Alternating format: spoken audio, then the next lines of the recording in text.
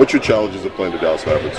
Well, uh, OJ Mayo right now. OJ Mayo's playing off the charts. He's shooting about 50 from the three. Sure. Um, what's impressive with him, they're running a lot of ISOs, and he's guarded taking threes. You know, that's scary when you say a guy is guarded taking threes and he's making over 50% of them.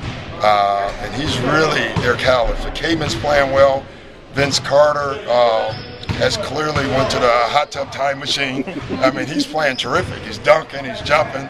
Uh, so they're, uh, Rick's doing a heck of a job with that team. You know, having their Dirk out and playing the way they play is pretty impressive. Uh, OJ Mayo, obviously coming there from Memphis, has definitely turned into an entirely different player.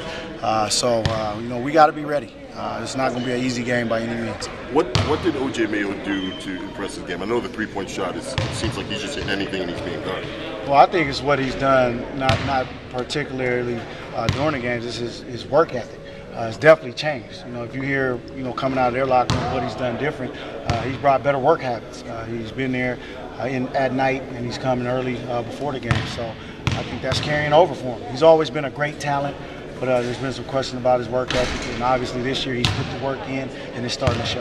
Um, knowing how competitive Jason is, is that smaller game have more importance to him? Do you think? Well, I'm sure it does. I mean, uh, and it probably will for OJ because he's the new guy for them. You know, that's just human nature.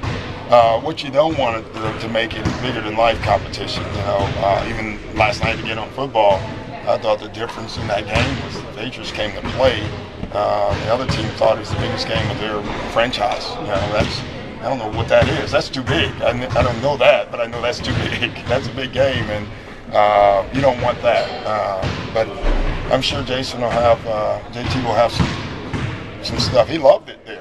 Uh, but now it's his old team, and you know how that goes. Has he given you like any insight about kind of what they do since you're so familiar? Not yet, but we will. Uh, you know, we'll interrogate him at some point, probably today or tomorrow morning. Uh, but they are different, though. You know, without Dirk, and they have so many different pieces. They're not running a lot of the stuff uh, that they ran with JT.